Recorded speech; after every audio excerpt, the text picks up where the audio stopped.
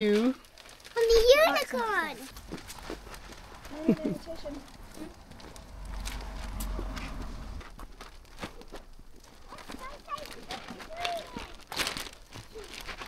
So ayan, magta trick or treats kami. Station. Ayan, madilim eh.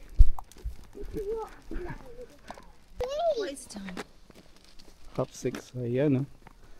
Ang unicorn ko. Unicorn witch. Naglalakad sa aling maliit. Trick or treats. Yeah. Yeah. Ito yung unang bahay na isi trick or treats namin. Ayun. Ooh. Ganda ng decoration.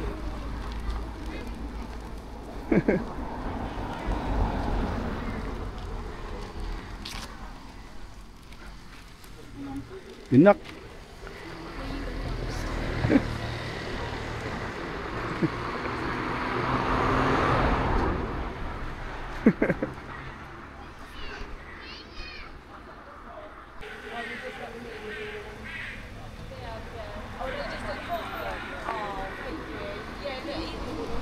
What did you get?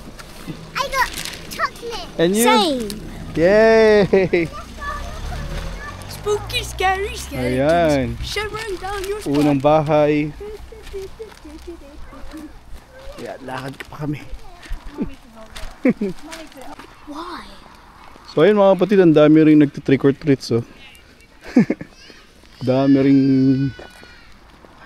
na ano mga bata. So let's go here. Trick or treats. Saying. Let's go. Trick or treat. Trick or treats.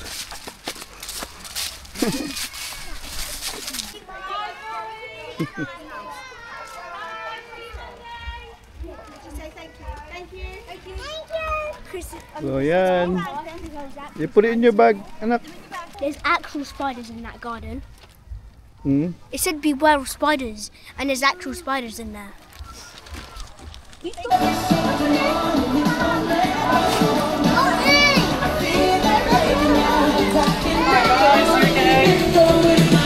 you everything that you're designed to be, and that light has a name, and its name is Jesus.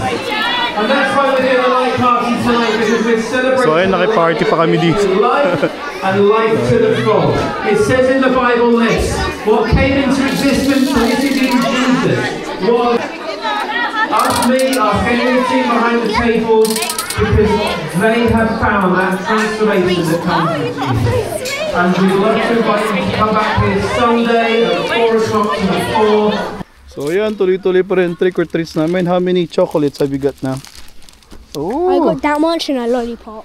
oh that's good, that's good. How about my unicorn witch? How many? Show, them.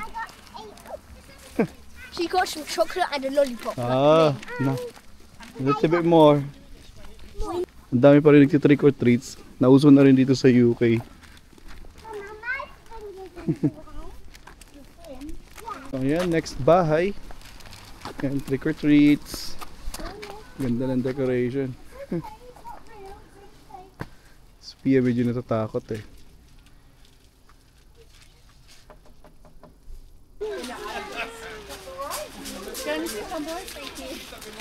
So, ayan, no? Ooh, look at that. Look at that.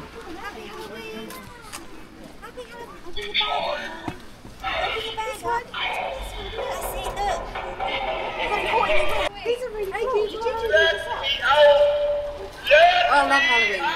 You just enjoy the day without the stress of Christmas. on. Thank you, sweetie. Thank you.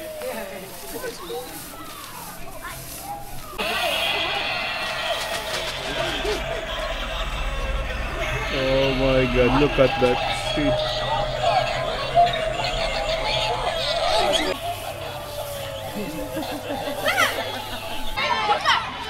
oh, that's actually horrifying.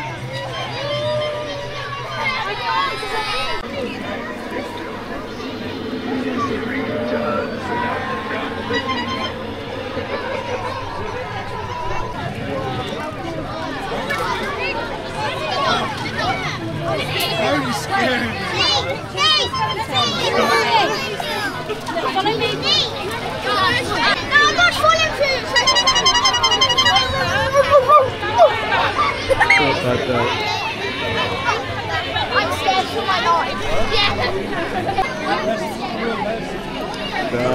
that is beautiful. But that's the real one down there.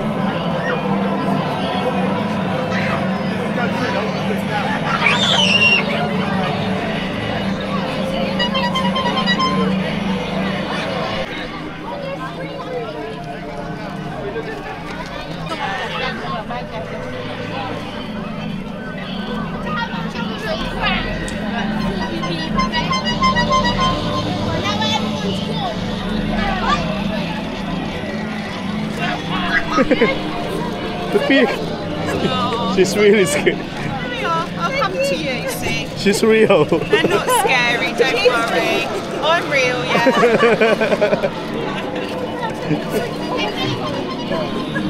Grabe mga kapatid, grabe yung effort nila. oh. Grabe. Sobrang hindi. Ganda. Decoration. Takot na takot yung mga bata. You scared, Sophia? That's like my childhood nightmare. Yung misis din takot na takot eh. Sa kasi station, Sophia takot eh.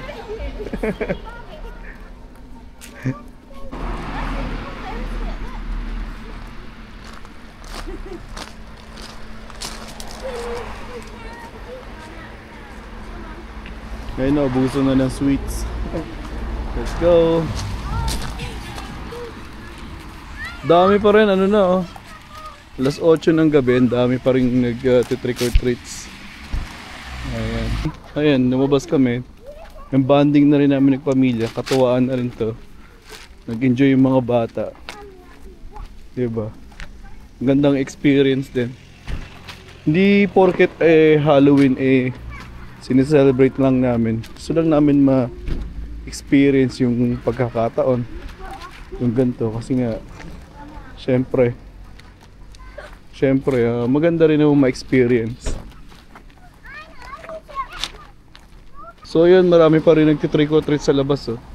Dami pa rin tao. Dami pa rin tao sa labas mga kapatid na nagtitrick or treat sa, sa unahan namin. Buti na lang talaga lumabas kami.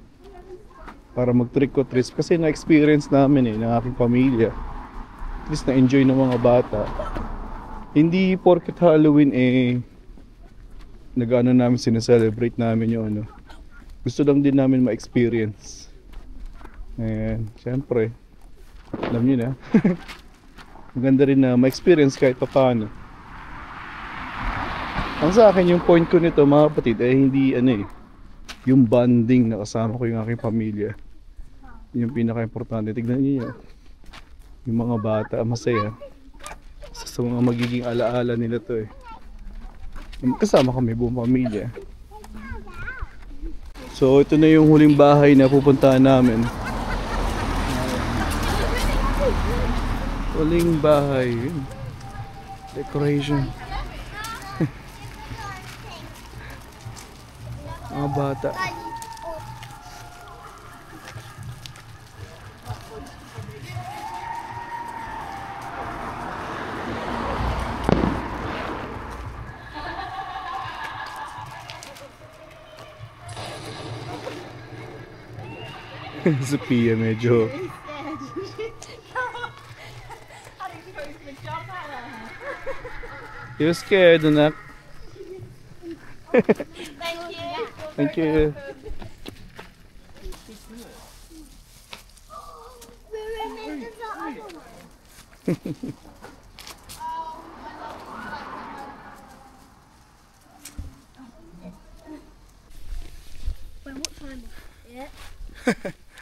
So ayun mga kapatid, tapos na yung trick or treats namin ng mga bata. So pauwi na kami. Ha? Parking. No, I don't. Tapos na ang trick or treats namin. Pauwi na kami. So salamat po. Salamat sa pagsama sa amin mga kapatid. Ayan. So, what you say everyone? Happy Halloween! Ayan, happy Halloween sa lahat.